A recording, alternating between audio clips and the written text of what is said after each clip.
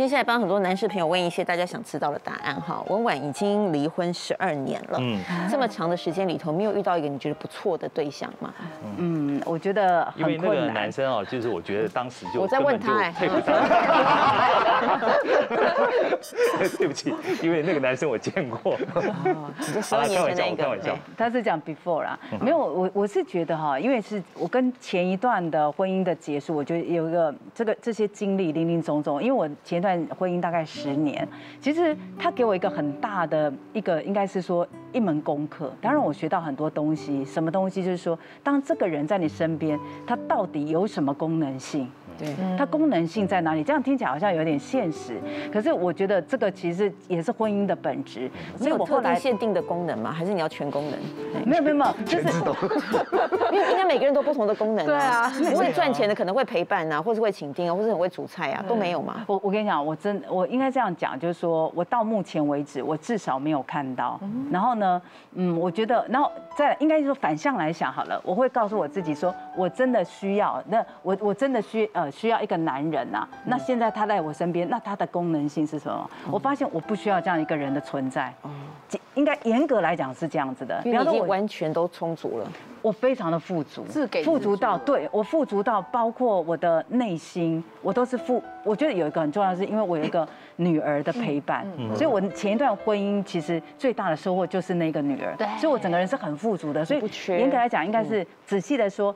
我现在单身，那如果要真的找一个人来，那他的功能性是什么？基本上我想不到。那其实过程当中，你说有没有吃饭啊？然后呃，其实看看电影啊，或者是约约会的对象，其实当然有。我也觉得说，哎，不应该也给自己一个机会。那其实那个大概是我在婚单后的三四年之后，因为身边有一些人会有一些示好啦，然后会释放一些讯息，你是了解的。那我其实要去跟人家吃饭都很困难，因为我。个性使然，我也比较拘谨，然后也比较小心。那呢，我愿意去吃饭，代表有有应该有点好感嘛。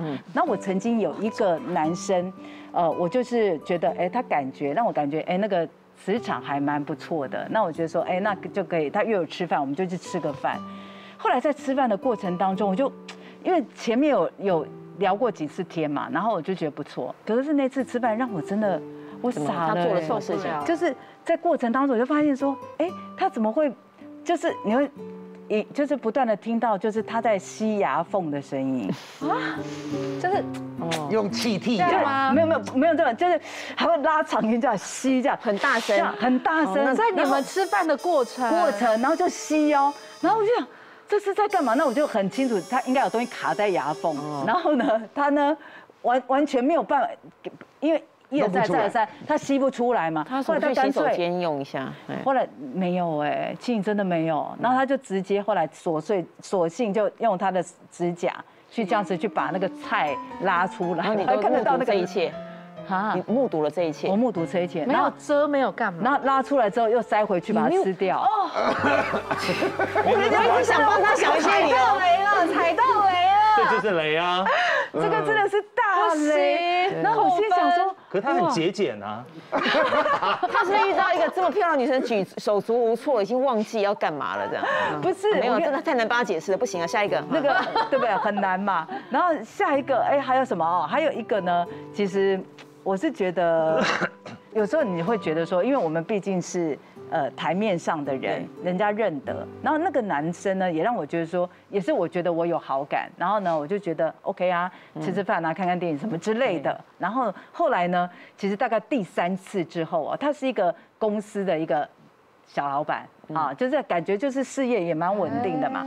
然后后来呢，你知道第三次他就跟我提出一个很奇怪的一个要求。可是你知道吗？我们呢？庆一定知道，我们的雷达其实很敏锐的。就我跟你其实还没有很熟，他就突然讲说：“哎，我，呃，这个这个礼拜呀，哈，呃，礼拜几啊？一个晚上啊，有一个那个应酬，你可不可以陪陪我去啊？嗯，大家都大大家都很想看看你，哎，你知道吗？那一刹那，我整个那个警觉心整个就起来了。为什么？你知道？不是，你知道吗？会会被人家我跟你为什么？为什么？第一个就是说，因为我才跟你比方说吃饭啊或看电影两次，第三次你就提出这个要求。老实讲，我对你的整个人很深入的状况我并不清楚，包括你的事业，知道吗？其实这个很恐怖的地方就是说，你就是你是不是把我端出去？万一你如果有合作的伙伴，后来因为这样投资你，因为你是哎。庆怡耶，那对这个这个问题，我以前也曾经有发生过类似。你会怎么去想？就是类似这样，那个这个人可能只是跟你在在吃饭，可能就是好朋友而已哦。对方可能邀请我去参加他亲亲友的婚礼，嗯，那我就觉得亲友的婚礼这个场子去蛮怪的嘛。那为什么会提出这种要求？对不对？就会想比较多。你看，而且你看，可是有两方说法，有人会说他可能是哎，真的是蛮喜欢你的，希望你的家人可以认，这是很好意的想法。是。那另外就是为什么？那这个时间点表达这个是适当的吗？但你就会想，我觉得很不适当，而且不适当，而且。建议你想啊，是应酬工作的场合，代表见的是他的客户，他往来工作上面往来对象。万一他因为看到你这个砍棒的关系，他觉得哇，那值得信赖，他投注了。可是你后来跟这个男的 maybe 没有走下去，可他们有一些纠纷，这传出去就很难听。哎，我当初是。为了为了你的关系，我来投资，而且我们是台面上人，是找得到的人，所以其实我觉得我会想很多，因为我们毕竟不是十八、十八、十九岁或者是二十几岁的小女生啊，所以我觉得这个是我一个很大的。那个地雷，那你会给他第二次机会吗？可能这次没有了，没有了，因为那个我就知道你靠近我，你的，嗯，你的动机可能不是那么单纯。我曾经啊，就是说，呃，跟一个男生约好到一个 mall，然后呢，我们约约好的一个餐厅啊，比方说我们就定了六点多，然后我们要去吃饭，可是有稍稍早一点点，那我就觉得说，哎，那我去逛一逛嘛，好，然后我就想说，哎，我。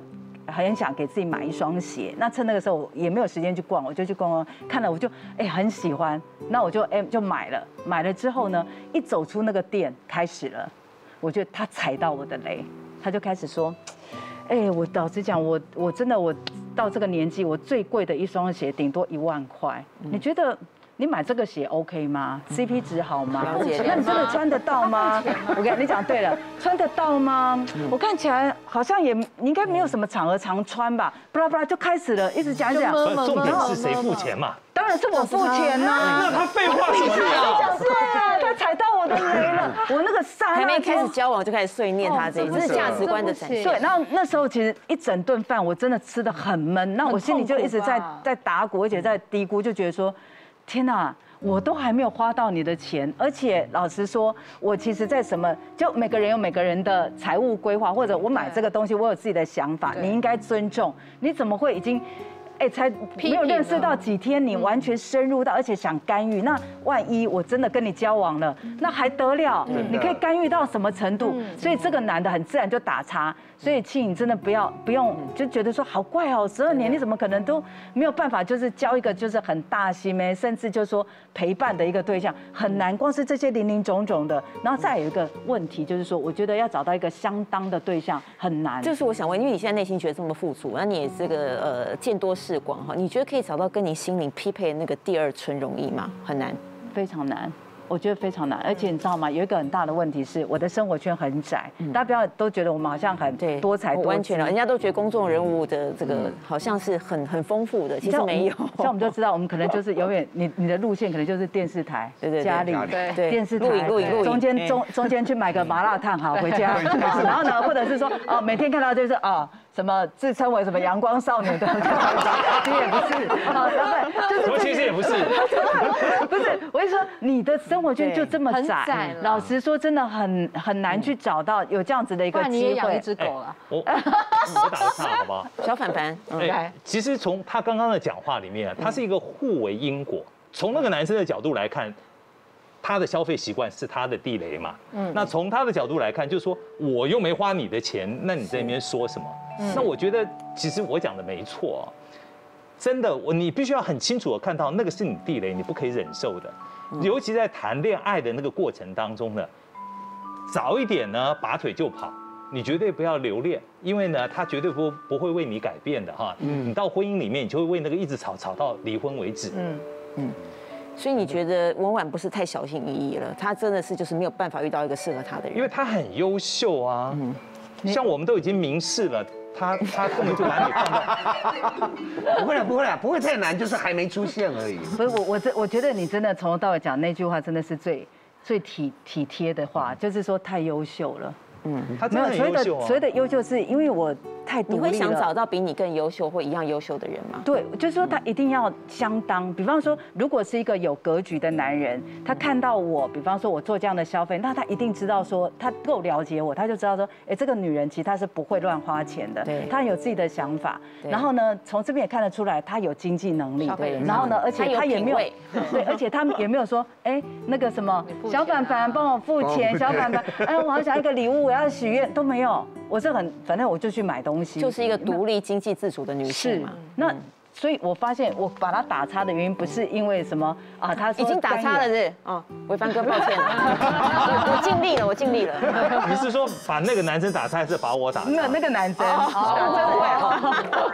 我最主要是我觉得不要讲到最后，我们两个事情真的被说出来了。说说什么？要解密什么？对啊，我是觉得他的格局是不够的啦，所以，我我觉得在这一块我是比较辛苦一点点，因为真的要找到一个比较相当的，呃，其实有点困难，对，有点困难的。OK，好。单身行不行？有官方的 YouTube 频道哦，请大家记得搜寻东风卫视，或者是扫下面的 QR code，同时一定要记得要按订阅，开启小铃铛，就可以收到我们最新的节目内容，而且有很多网络独享的好影片哦。还有还有，记得分享给你的亲朋好友吧。